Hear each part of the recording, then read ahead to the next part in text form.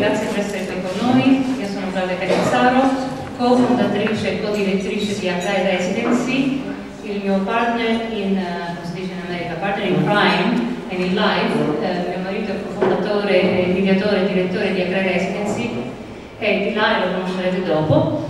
E, Salvatore Scalora, vi diamo il benvenuto e per voi che eh, alcuni di voi forse non sanno che cos'è Agri Residency, Agri Residency è un programma uh, di residenza per artisti, scrittori, ballerini, musicisti e, e chef, pasticceri, uh, che si svolge ogni anno per la sola Crede in questo mese, il mese di settembre. Uh, siamo un'organizzazione no profit con sede amministrativa a New York e centro operativo a Palazzo Crede eh, né io né Salvatore siamo di Palazzolo, ma abbiamo scelto Palazzolo perché ci ha affascinato, conquistato, e ci è piaciuto il fatto che non è troppo grande, non è troppo piccola, non è troppo turistica, non è stata per fortuna ancora rovinata dal sviluppo eh, edilizio e speriamo che rimanga così. Speriamo di portare, non vogliamo togliere niente a Palazzolo, vogliamo aggiungere e quindi ogni anno portiamo sette artisti di talento che lavorano un mese a Palazzolo, lavorano i loro progetti e li condividono col pubblico. Eh, molti di voi era, eh, eravate ieri al comune, quindi avete visto alcuni dei lavori eh, degli artisti, stasera altri artisti presenteranno il loro lavoro e abbiamo fatto anche una serata speciale al Museo dei Viaggiatori eh, venerdì che all'inizio non era in programma. E prima di tutto, eh, prima di presentare gli artisti a tutti voi, eh, vorrei eh, ringraziare il sindaco Carlo Scibetta per essere qui con noi questa sera e l'assessore Paolo Sandro. Prego, venite, venite. Eh, mi farebbe piacere se potete dire due parole. Allora, buonasera a tutti con grande piacere ne dico qualcosa perché e in qualche modo parlare di Agrime Residence oggi è facile, due anni fa diventava un pochino difficoltoso, anche perché che cosa ne voglio dire con questo? Voglio dire che le volte le cose ne nascono per caso, ma poi non c'è tanta casualità nelle cose. Le cose vuol dire che devono andare in questo modo. E, mi segnalano, a, tutti conoscete Sebastiano Naglianone dell'Inda, io del dovere di Chicago, perché mi dice guarda ci sarebbe un'occasione per Palazzolo, ma vediamo se possiamo organizzare qualcosa. Dico Sebastiano, certo, con grande piacere facciamo, una, facciamo qualcosa perché eh, l'idea mi affascina. Lui mi ha detto soltanto due parole, dobbiamo ospitare delle persone a Palazzolo. Nel momento in cui mi ha detto così, mi dico vabbè, parliamone e vediamo un pochino eh, come fare, perché nel Palazzolo eh, eh, in qualche modo tramite l'Internet. Perché sapete che l'Internet a Palazzolo tiene un festival il festival non c'entra nulla con Agri Residency, però in qualche modo non è altro che un'iniziativa tramite la quale noi diamo ospitalità, in qualche modo riceviamo delle scuole, studenti e insegnanti e da noi sostanzialmente queste persone nel tempo avremo anche il piacere di poterle fare pernottare quantomeno per un paio di sera. E in tutto questo sapete, eh, non è una cosa troppo lunga, lo voglio dire perché è l'occasione per poter eh, fare capire quali sono i programmi. Noi abbiamo una grande struttura, che è il complesso Vaccaro, presso il quale stiamo andando a realizzare 100 posti letto, quindi eh, questi 100 posti letto che saranno disponibili già dal prossimo anno, speriamo da maggio, quindi per il prossimo festival, e questi nei 100 posti letto noi abbiamo in qualche modo l'ardire, la presunzione, l'utopia, lasciatemi questo in termine, di poter organizzare con l'Inter e non solo con l'Inter, ma anche con Claudia e Salvatore e con altri che si propongono. Questi nei momenti di ospitalità tipo questo progetto a Graene Residenza. Chiaramente lo SEL è solo nel il pretesto, il mezzo, lo strumento per poter organizzare eh, eh, diciamo, eh, questo tipo di iniziativa, perché è chiaro che poi dalla base di tutto c'è l'ospitalità della nostra comunità, c'è una comunità che in qualche modo, seppur piccola, esprime diverse eh, potenzialità, diciamo artistiche, culturali, gastronomiche, quindi eh, come tale questa è una comunità tramite l'ospitalità, tramite l'ossello, tramite la struttura come questa si apre nel suo piccolo al mondo, si apre alle diverse esperienze e in progetti come questi, come quello di Agrari Residence, si confronta in quelle che sono effettivamente le potenzialità, in quelle che sono anche i difetti che dobbiamo imparare a conoscere e a gestire nell'interesse eh, diciamo, di quella che è la vita stessa di questa comunità e di questo territorio. Io ho fatto una, eh, una richiesta ben precisa agli artisti che quest'anno oh, si sono soffermati e ci hanno onorato della loro presenza a Palazzolo. Li voglio incontrare prima che loro partano perché da loro voglio sapere uno o due aspetti negativi che in qualche modo eh, abbiamo nella nostra comunità. Perché per un eh, palazzolese, per un amministratore capire quali sono le negatività, dice ma che fanno? Le sai, non li voglio sentire dagli altri cioè da coloro che non conoscono la comunità, vengono eh, in questa comunità, la vivono per un mese, vorrei capire secondo loro quali sono le cose che non fanno e in qualche modo eh, confrontarmi proprio per capire se queste negatività le possiamo superare con eh, l'impegno di tutti e eh, con l'obiettivo proprio di poter crescere, di poter crescere non solo dal punto di vista turistico ma proprio di poter crescere dal punto di vista culturale perché siamo convinti di avere delle potenzialità e queste potenzialità dobbiamo saperle eh, gestire nell'interesse questo territorio. Quindi grazie a Claudia, grazie a Salvatore, è chiaro che questo è il secondo anno e io auspico che ci sia un futuro, magari un futuro che a questo punto ci possa consentire di poter utilizzare la struttura che abbiamo sopra nel complesso locale e quindi magari poter allargare negli orizzonti per come eh, un po' è venuto fuori, eh, con il coinvolgimento delle università. Mi piacerebbe in qualche modo che riuscissimo a coinvolgere, parlo dell'università ma parlo anche e potrebbero essere delle scuole eh, d'oltreoceano perché noi in qualche modo con i giovani vogliamo lavorarci, con gli artisti vogliamo lavorarci e soprattutto eh, speriamo di poterci lavorare esprimendo al, al meglio le nostre potenzialità. Grazie, grazie Sindaco.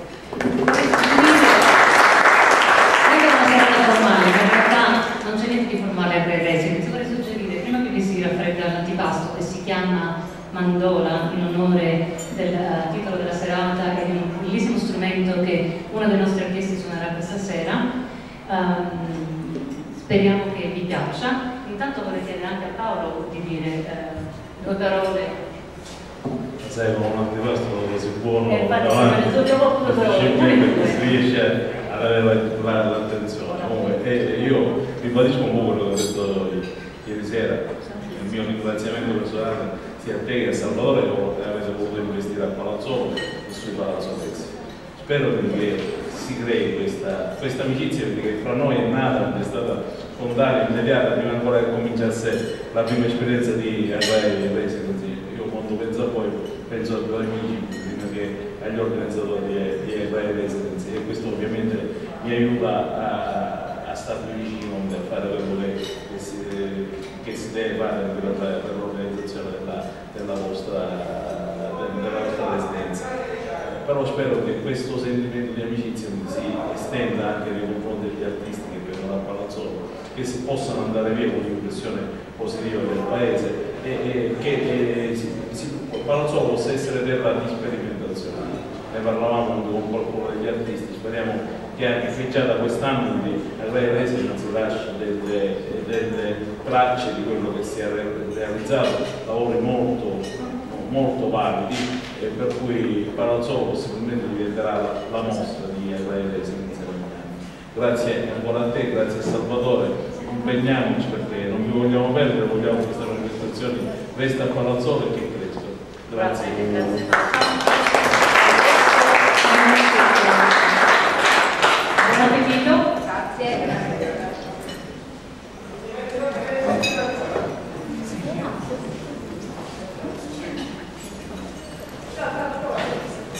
Charcuterie.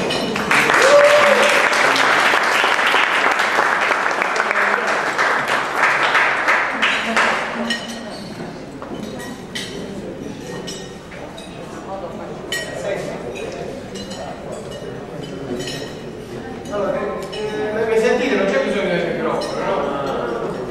Ok, io giusto per presentarmi e, e per presentare quello che state, state per mangiare. Allora, il- vi porterò tre piatti. L'antipasto che state appena per gustare, un primo e un secondo, totalmente ispirati alla tradizione, ispirati e rivisitati alla tradizione siciliana. Il primo piatto si chiama mandola, sia per la forma sia per la morbidezza che alla fine poi diventa spigolosa assaggiando una parte di polline. Mandola, mandola perché è la serata dedicata alla mandola. E, quindi diciamo che il piatto è dedicato totalmente alla serata. Il primo piatto è un piatto speciale, è un piatto forte sia dal punto di vista formale che cromatico e, e si chiama vulcano. È il riso, è totalmente vegetariano ed è molto speziato, c'è una particolarità. Assaggiandolo si ha l'impressione che esploda in bocca come il fuoco, eh, come il temperamento no, dei siciliani. È così, è così, no? Dalla parete siete tutti caldi perché state mangiando, però se insomma no, uno inizia un pochettino a, a innervosirsi, diciamo che il carattere vulcanico viene fuori. Ecco, all'apparenza eh, sembra, sembrerà molto aggressivo come piatto. Nello stesso tempo però, alla, diciamo, appena lo, lo mettete in bocca, appare morbido, ma quando, quando iniziate a mandarlo giù, ecco, lì sentirete veramente la forza del fuoco, la forza della lava, la forza della Sicilia. Questo per quanto riguarda il primo. Il secondo, il secondo è un piatto molto complesso, molto molto molto molto molto, molto. perché è una composizione di quattro elementi. Quattro elementi come quattro elementi. E- ed è totalmente ispirato alle quattro stagioni, ok? Quattro stagioni siciliane. E ha come nome Terra Matta, perché, perché il motivo già lo sapete dove lo dico, perché Terra Matta?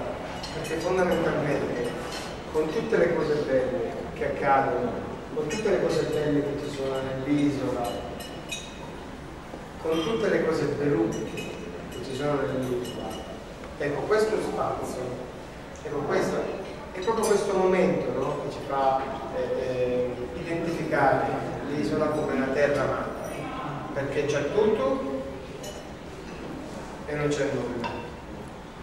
Ecco, il secondo è dedicato proprio, eh, diciamo, totalmente eh, diciamo, a questa questa condizione. Ma quando finirete, provate a fare una cosa, quando finirete di mangiare, pensate a non a che tipo di spezia o cosa avete mangiato, ma pensate semplicemente a una cosa, pensate a cosa vi riporta il cibo e quello che avete appena mangiato, perché sono tutti, tutti, tutti, tutti elementi che si trovano nella nostra terra sono semplicemente combinati in maniera diversa da quello che i consuetudine siamo abituati a mangiare.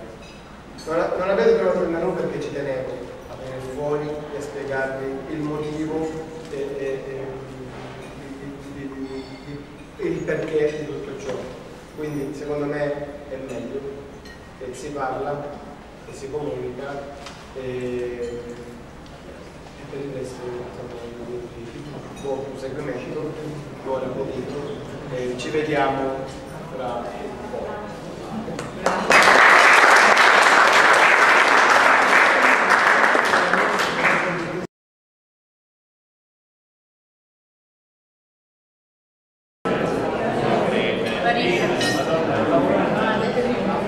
Allora,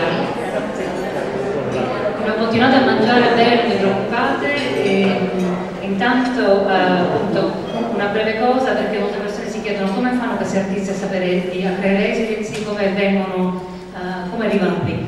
Eh, a creare residency indice un bando aperto a artisti professionisti in tutti i campi delle arti creative, compresa l'arte culinaria, ogni anno, il bando è intorno a gennaio-febbraio, e poi una, ci sono giurie, non una giuria, varie giurie a seconda della disciplina che vedono il lavoro di solito online, a volte anche di persona quando siamo a New York, perché appunto siamo di base a New York, e scelgono i progetti più interessanti.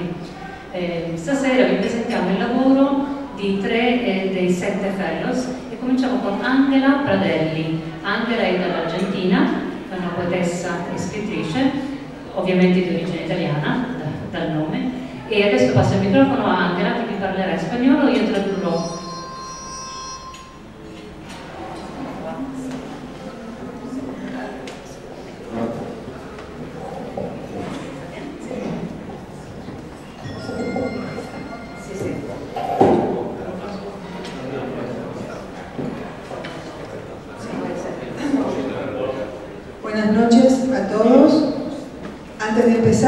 Agradecer especialmente a Claudia y a Salvatore por todo el trabajo que han tenido con nosotros. Me imagino que estarán muy cansados.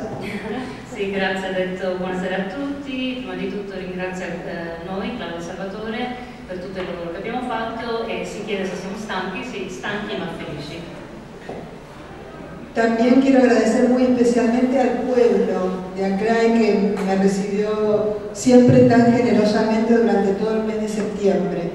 Ringrazio anche tutto il, eh, la gente di Palazzolo perché sono stati molto calorosi e l'hanno ospitato per tutto il mese di settembre. Al Museo de Viaggiatori, que fue mi lugar de escritura. Soprattutto al Museo dei Viaggiatori, poiché Angela ha lavorato al museo giorni. Y a la gente de este lugar, Cole Acre, que siempre nos recibe tan cálidamente. e soprattutto anche agli amici di Colleatre che ci hanno ricevuto così calorosamente, che ho ospitato. Cuando yo era chica muchas veces me despertaba por las noches y caminaba hacia la habitación de mi nona. Quando ero bambina spesso eh, eh, mi alzavo e camminavo andavo verso la, la casa di mia nonna. Mi nona estaba siempre despierta y por eso se filtraba una pequeña luz por abajo de la puerta.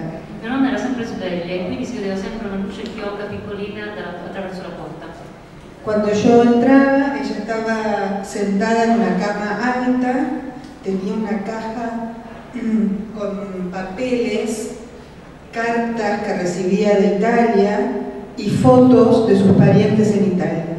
E la trovavo seduta sul letto alto con una scatola, dentro la scatola c'erano tutte le lettere dei eh, parenti in Italia.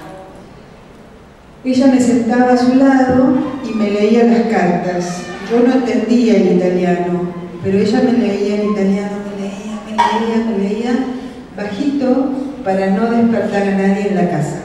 E nonostante io non parlassi italiano, mia nonna mi leggeva le lettere, leggeva a bassa voce per non farsi sentire dalle altre persone della casa. Y antes de irme me decía, ma anche la state zitta, eh? Non ti senti dire Angela, sta- No digas nada. Angela, non dire niente, stati zitta. Yo no entendí mucho lo que ella me contaba, pero guardé esos secretos para siempre. E nonostante io non avessi capito quello che mi aveva raccontato, ho mantenuto Y ahora, cuando escribo, todo eso retorna. E adesso quando scrivo tutto questo torna indietro, mi ritorna. Palabras que a veces parecen desconocidas para mí, Le parole che mi sembrano a volte sconosciute, voces que hablan encerradas en una caja voci che sembrano di parlare dentro da una scatola y una luz que viene debajo de la puerta y me ilumina. Una luce che viene da dietro la porta e mi illumina. Bueno, eso quería contar un poco sobre la abuela. Yo, tu- Volevo, volevo raccontare un po' su mia nonna. yo tuve dos proyectos acá en esta residencia. Ho lavorato due progetti durante la residenza, Un trabajo de escritura de poesía con la experiencia que yo tuve en este lugar uno un lavoro di poesia basato sull'esperienza fatta proprio a Palazzo La Crede y otros un trabajo de poesía escrita a partir de las cartas que mi abuelo italiano escribió desde la Argentina a su familia en Italia y que yo recuperé después de 50 años. e l'altro progetto è sempre di poesia basato sulle lettere che mio nonno ha scritto dall'Argentina alla sua famiglia qui in Italia che ho trovato 50 anni dopo. Leo entonces el primero. Adesso leggo la prima. E dico una cosa, le poesie sono in spagnolo, io non sono una traduttrice professionista di letteratura, quindi eh, apprezzatele così in lingua eh, originale, poi magari vediamo anche la, eh, la storia le poesie, ma non ci sarà traduzione della poesia. Eh, leggerò dopo una breve storia in italiano eh, sempre bianca. Le poesie sono solo in spagnolo. Teatro griego en Array. Aquí cada piedra canta la voz del mito y la modernidad veloz sucumbe al silencio de todas las palabras que el drama pronunció como si fueran cuchillos o flores. Una mariposa vuela bajo sobre el escenario, da varias vueltas y luego se posa sobre una de las gradas. Acá estamos, cada vez más cerca. Desde allí, la mariposa despliega sus alas y las abre al máximo. Un mundo incierto que se sostiene sobre la resistencia de un teatro, de sus piedras milenarias y la delicadeza del vuelo de una mariposa. Camino por las calles angostas de Acray. El vuelo de una paloma inquieta un corazón en silencio. El aleteo se aleja en un instante, pero la paloma queda en mitad del pecho y palpita por unos segundos, agitando la espesa capa de la mirada sobre el mundo.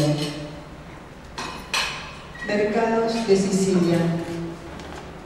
Con este sol calentando los cuerpos y las hierbas que hacen florecer nuestras manos, los mercados se abren y las voces, las voces toman la calle, la hacen suya, como el perfume de la albahaca y el romero, suyos también el color de los tomates y el sabor de las olivas.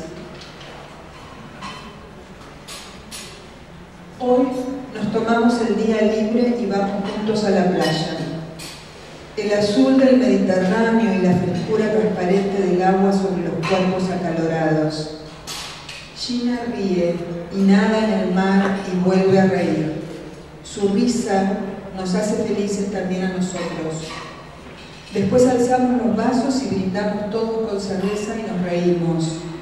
¿Acaso este sea un tramo de nuestra propia felicidad que estaba esperándonos aquí en Acray? En Acray cae la tarde. En la plaza del Popolo, varios grupos de hombres recuerdan el pasado que tuvieron o discuten el presente que les toca. El cantante entona sus baladas de amor y los niños corren hacia el futuro arriba de sus bicicletas. Las mujeres observan, se arreglan los peinados, las parejas se besan. En el corso Vittorio Emanuele, el último sol que ahora nos enseguece se desmayará en unos minutos sobre los techos de las casas. Sentada sobre los escalones de la iglesia, una mujer escribe en una pequeña libreta que la vida sigue por los bordes y rodea siempre la cintura de los pueblos. Y ahora voy a leer entonces el, el poema que escribí a partir de las cartas de mi nono. Él quería regresar a Peli, a Italia, para abrazar otra vez a su madre, reír otra vez con sus hermanos. Cuando volviera a Italia, pensaba él en Argentina, cuando volviera a Italia, mientras regaba los tomates de su quinta, no avisaría a nadie. Quería que lo vieran avanzar, subiendo el camino de montaña que lleva a la casa. Es empinada esa subida, pero él se detendría cada tanto para recuperar la respiración y mirar las montañas. Llegaría a Peli por la tarde. Tal vez su madre estuviera juntando unos hongos o un poco de romero para las papas. Tal vez sus hermanos hubiesen llegado recién de trabajar la tierra y ahora estuvieran mojándose la cabeza transpirada con un poco de agua fresca o limpiando las herramientas para volver a usarlas al día siguiente. Él llegaría, él llegaría a Italia sin avisar, que todo fuera como una aparición, quería. ¿Quién lo descubriría antes? ¿Quién sería el primero en ver una mancha que se mueve en el camino y luego un hombre que avanza hacia la casa y avisa a los otros? Todos se interrumpen y dejan lo que están haciendo y dan unos pasos lentos hacia el hombre porque todos quieren restar la distancia que los separa, pero avanzan preguntándose si es verdad, si es él, si ese cuerpo que asciende por el camino de la montaña, si ese hombre es él que está volviendo. En la Argentina, por las tardes, mientras mi abuelo regaba los tomates y pensaba estas cosas, se ponía triste al mismo tiempo que se veía a sí mismo feliz ascendiendo por el camino de regreso, como si la felicidad y la tristeza pudieran ser una misma cosa, pudieran desdoblarse y permanecer una mientras la otra se aleja siempre buscando los abrazos que quedaron en Italia. Muchas gracias.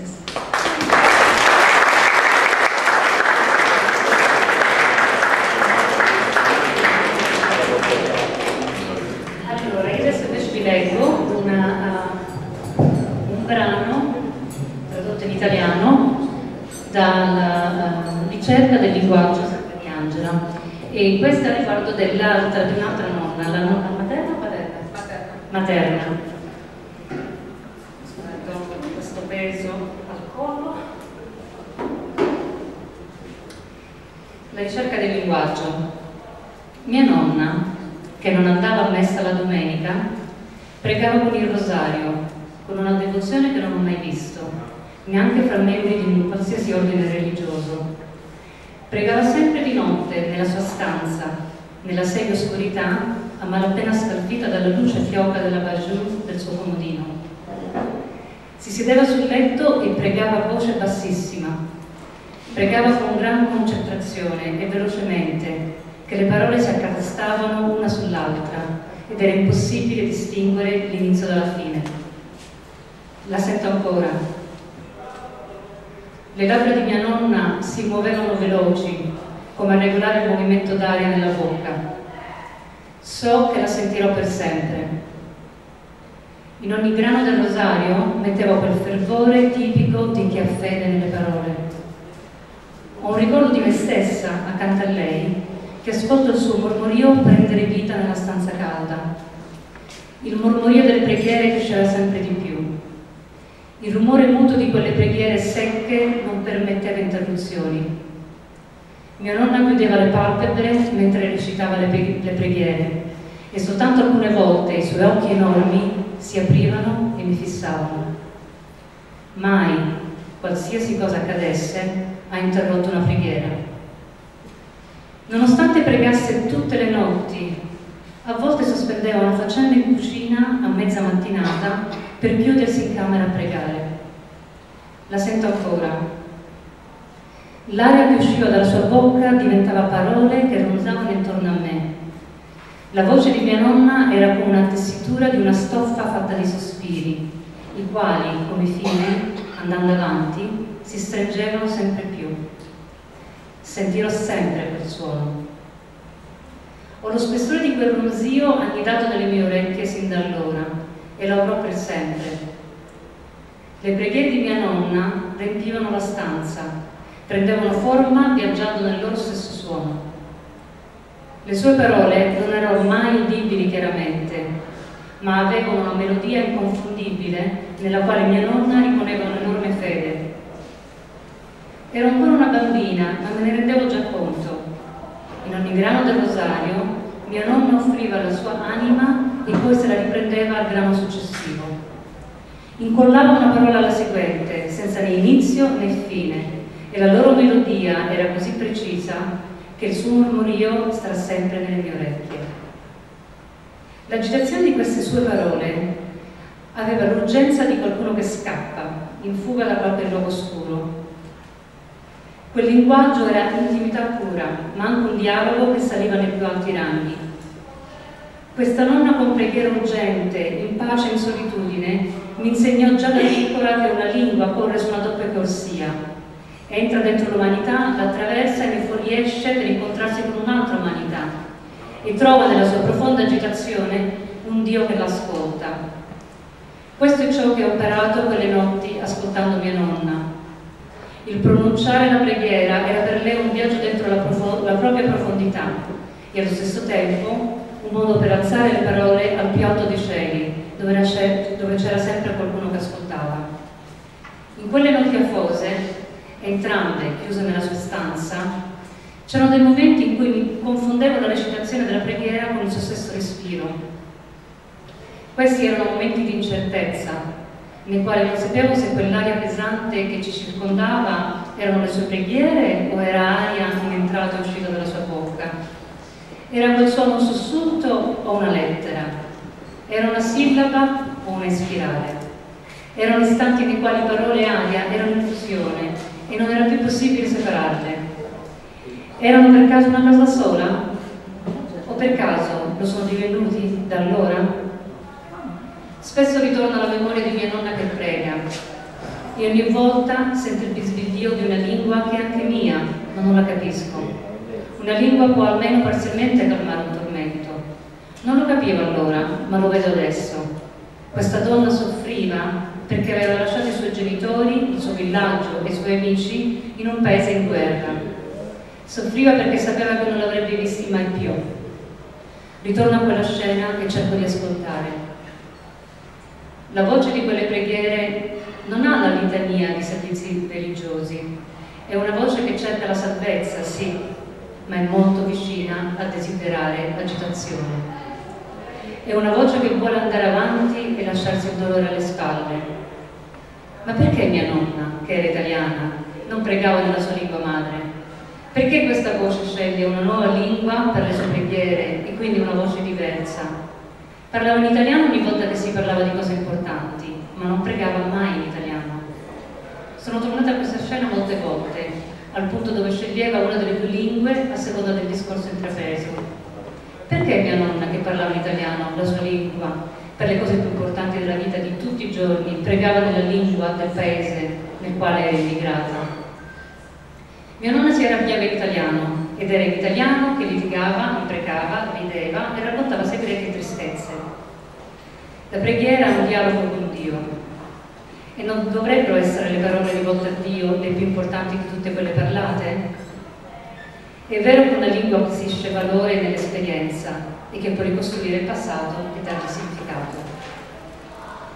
Il futuro è la coniugazione che ci porta alla speranza ed è attraverso essa che diamo vita alla fiducia, che mettiamo nell'illusione e nella fede. Se non avessimo le parole non avremmo un futuro senza lingua non esiste prospettiva di vita. Le speranze del futuro sono diventate concrete nei nostri discorsi. Ma perché mia nonna cambiasse la sua lingua madre spagnolo quando pregava, pronunciandoli certezza dei giorni a venire, è un mistero insoluto. Quando questa donna italiana pregava, pregava per il futuro, in una lingua non sua. Le implicazioni erano dette in italiano, le preghiere in spagnolo.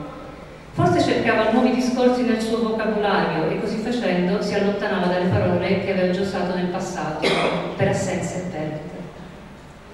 Un nuovo accento per una nuova vita che mia nonna sperava fosse migliore? Era per caso una maniera attraverso una nuova sintassi di oltrepassare la soglia verso nuovi orizzonti? Forse pensava che una semantica differente gli avrebbe portato finalmente la felicità. Forse mia nonna pensava che pregare in spagnolo significasse esistere nella lingua degli altri e perciò essere accettata da loro.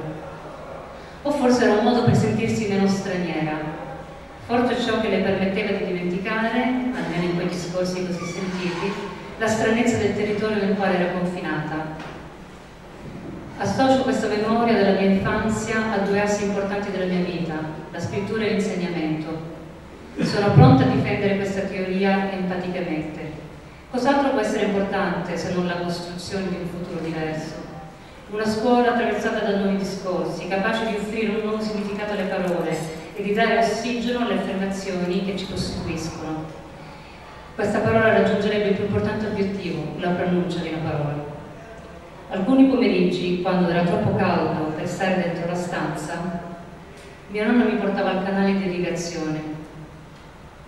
Dopo mezzogiorno andavamo giù per la strada, camminando sotto l'ombra degli alberi che costeggiavano la strada. Non era solo per la freschezza dell'acqua che mi piaceva andare al canale.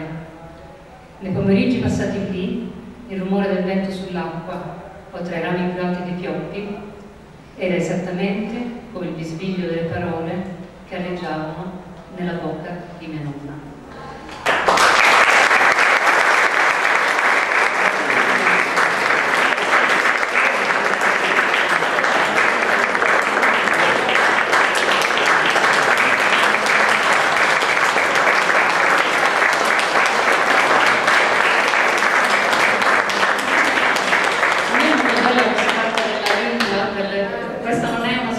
Gracias.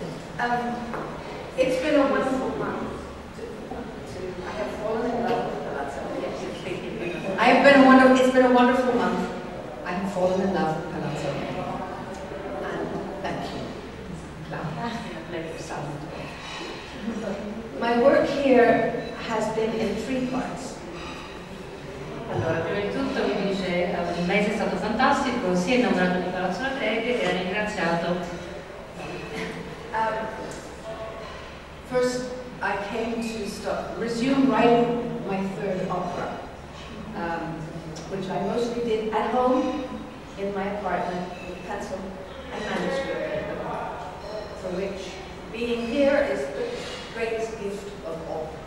the time.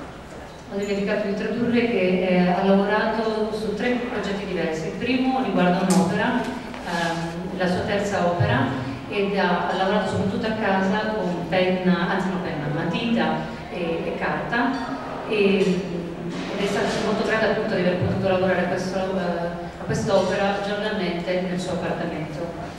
Then I went every day to a little monastic cell with the piano and spent one hour or two listening to the bells and watching the light travel across the wall in front of me. And I wrote a small piece. Un'altra cosa che ho fatto è tutti i giorni sono andata in quella che chiamo una piccola cella monastica, ovvero un piccolo appartamento messoci a disposizione da Federico Pizzo, che eh, vogliamo ringraziare, dove abbiamo posizionato questo pianoforte dove Gina andava tutti i giorni a suonare e questo appartamento non ha finestre intorno, ma un piccolo lucernaio dal quale entrava la luce che andava direttamente sul muro di fronte al pianoforte e la luce viaggiava, quindi c'era questo piccolo rettangolino di luce che viaggiava durante il giorno. And thirdly, I wanted to get to know my mandola. E il terzo progetto per la sua residenza da CAI è di conoscere la mandola.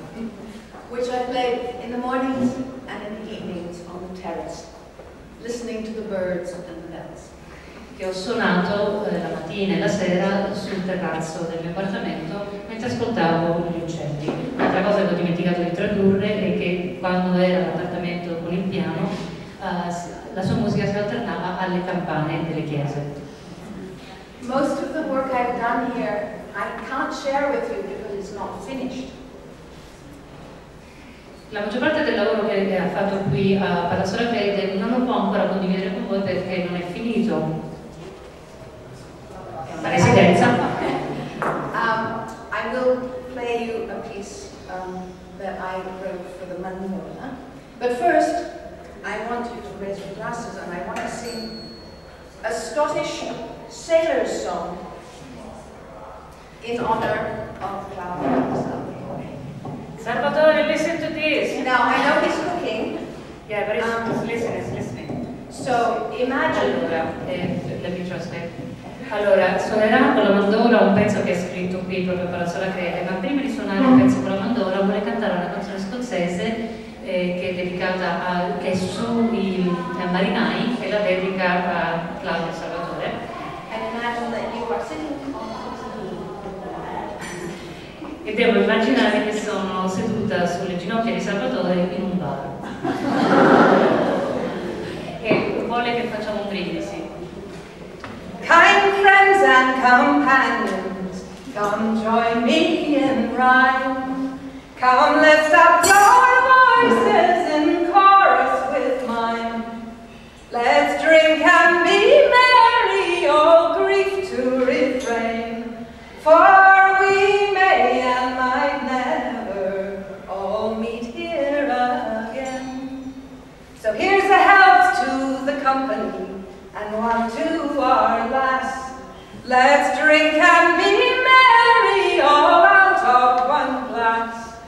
Let's drink and be merry, all grief to refrain. For we may and might never all meet here again.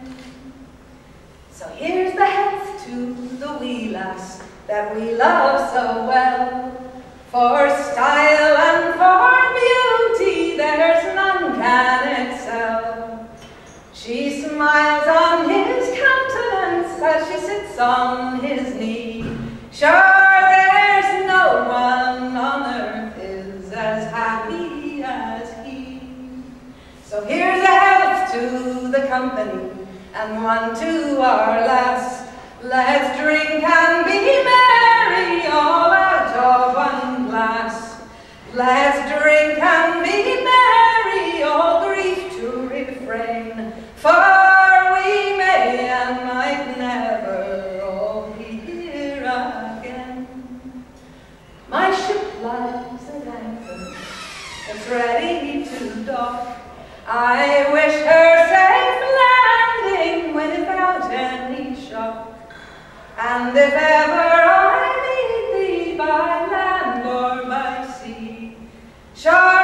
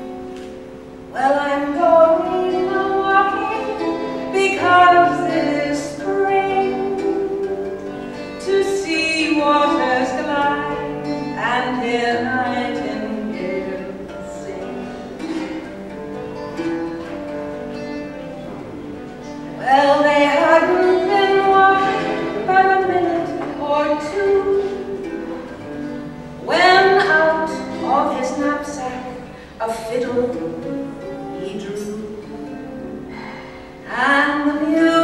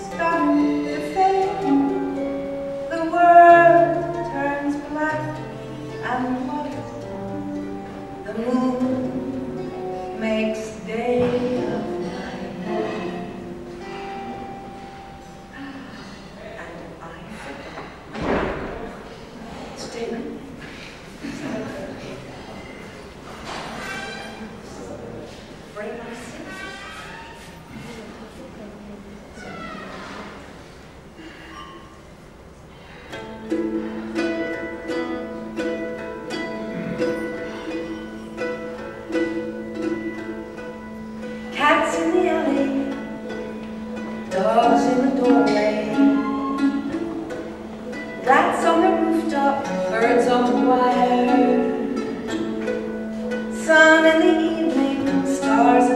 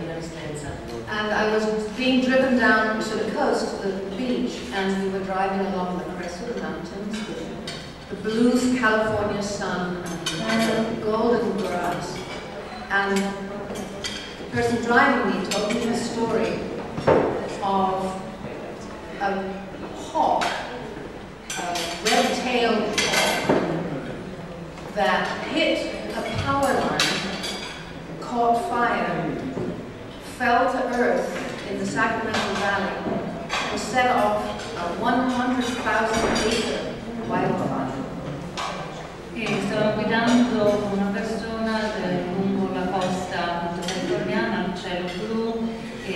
e terra molto bruciata, gialla. E questa persona aveva raccontato una storia, una di un falco a coda rossa che ha volato nei fili elettrici, ha preso fuoco e ha continuato a volare a fuoco mentre prendeva fuoco e ha messo, ha creato un incendio di, eh, no? 100 A size of a wildfire?